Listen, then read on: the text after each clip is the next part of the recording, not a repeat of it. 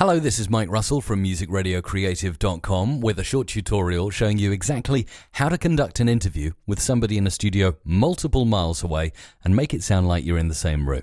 I've had many questions on this topic, including most recently a comment from Mark Kerridge and also Howard Ellison. So here I'm going to show you how to do it. On the screen here in Adobe Audition, you'll see that I currently have the recording from the USA studio. That's my interviewee. Now, the important thing here is that I asked them just to record their side of the conversation. When I switch to the UK studio, which is my studio, you'll see that I've recorded both my side, that's the left hand side, and also the Skype conversation, which is the low quality recording of the interview on the right hand side.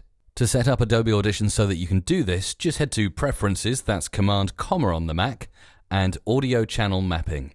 Then you change your left to be your microphone input, in my case it's the Saffire input 1, and your right to be a recording of what you hear on the computer itself, which in my case is the Saffire Loop 1.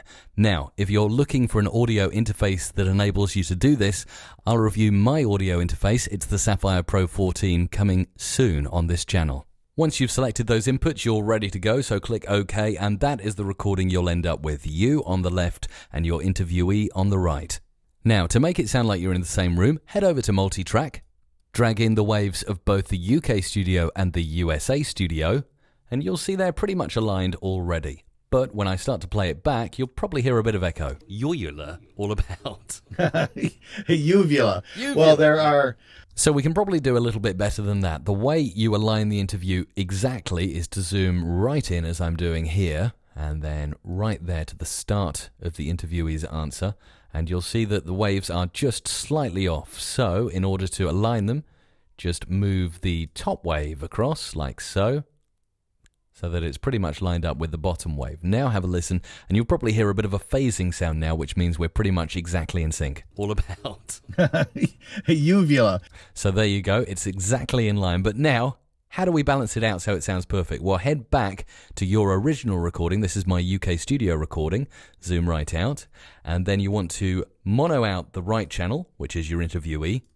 Copy the whole of your left channel and then head over to your right channel, mono out the left channel, delete and paste so it's just you, and then of course go back to full stereo, back to the multi-track, and when you play back the interview, you'll notice now that it's me and the interviewee together. A channel such as the Voice of America or the BBC or something mm. uh, of that nature.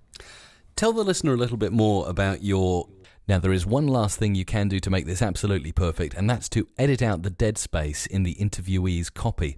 This is because sometimes when you're recording on Skype, you get a little bit of echo or feedback, so just delete it and then add this little fade on the end and at the start of the next answer to your question. That way, you'll have a brilliant interview with superior sound quality. A channel such as the Voice of America or the BBC or something mm. uh, of that nature. Tell the listener a little bit more about your character voiceovers when we first started working together. There you go, that's exactly how you record an interview multiple miles apart and make it sound like you're in the same studio. I hope this has been of help to you. I'm Mike Russell from musicradiocreative.com and remember to head to musicradiocreative.com slash podcast to listen to this interview in full.